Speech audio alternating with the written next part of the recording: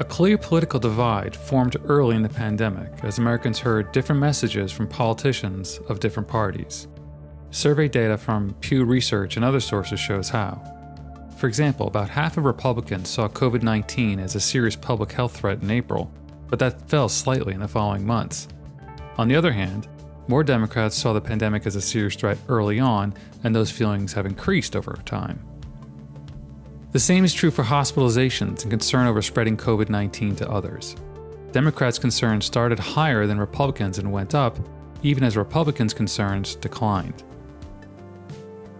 Wearing masks has become a political statement for some too. Most Democrats say masks should be worn all the time. Far fewer Republicans say they must be worn all the time, but around half of the Republicans polled say they should be worn at least most of the time.